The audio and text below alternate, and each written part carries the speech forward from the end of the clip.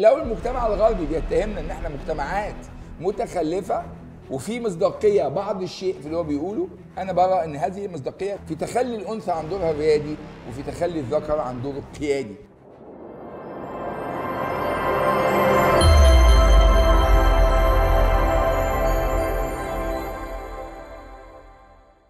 أي رجل أراد أن يكون قائد فهو قائد.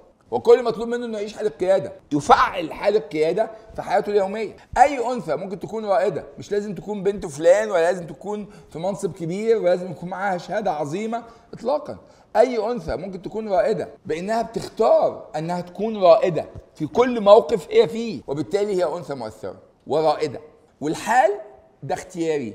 اللي بيختاره بيرتاح اللي بيتجنبه بي بيعاني ويتخلف ويتألم. القيادة ليست حكرا على المناصب القيادة من حق أي رجل.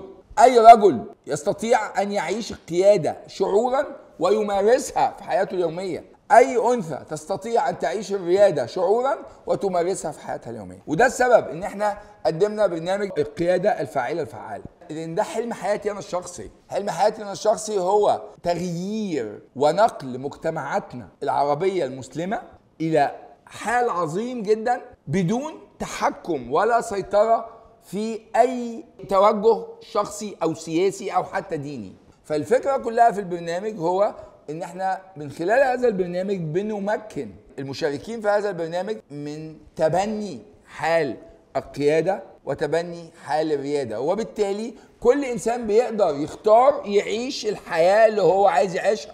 بيختار الحياة التي يريد أن يكونها. بيختارها ويعيشها ويحققها. والجميل في الموضوع إن القائد أو الرائدة بيستمتعوا بنشر القيادة والريادة. فالقائد محاط بقادة لأن القيادة حاله فطريه وبالتالي كل اللي حواليه بيشوفوه عايزين يبقوا زيه.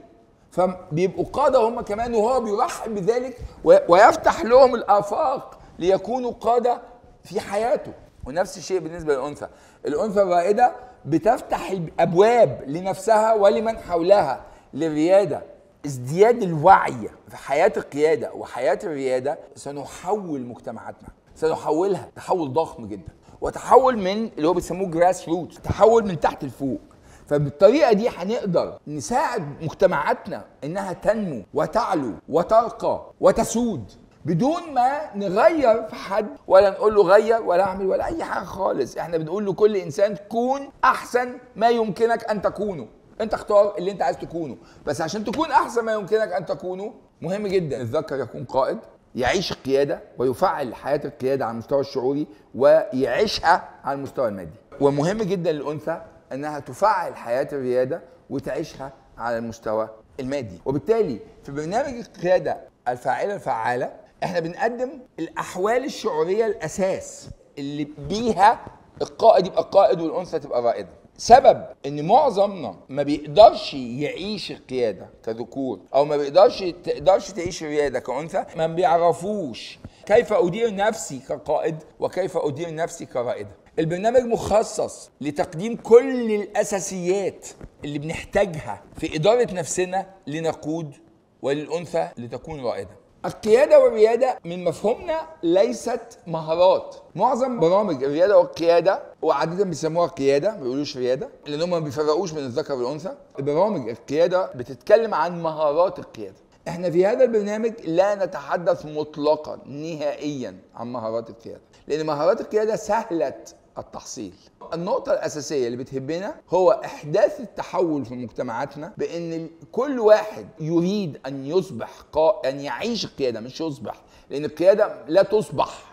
القيادة حالة حالة وجود بنقدر نختارها ونعيشها والريادة حالة وجود بنقدر نختارها ونعيشها. القيادة الفعالة حال مختلف تماما. كل البرامج اللي أنا بقدمها غير برنامج القيادة الفعالة هي هي برامج إدارة للذات وتعامل مع مع اضطراب الذات لاستحضار الاتزان. برامج القيادة هي برنامج إدارة للذات للتعامل مع الآخر والتحقيق والتأثير. فهنا في فرق كبير جدا. وده منظومة شعورية ومنظومة إدارة ذاتية أنا ما قدمتهاش قبل كده ومهمة للغاية إن إحنا نعيش بيها ونحقق بيها ما نريد للذكور وللإناث قوة ريادة الأنثى في قدرتها على توظيف العلاقات في الخدمة والتأثير للخير والنور. وكل ما كانت قادرة على توظيف علاقاتها في الخدمة والتأثير للخير والنور منظومتها في العلاقات بتتسع بشكل يعني كبير جدا. فالفكرة مش في الع... البداية مش في العلاقات البداية في إدارتها لنفسها إنها تكون رائدة وإنها تكون مؤثرة.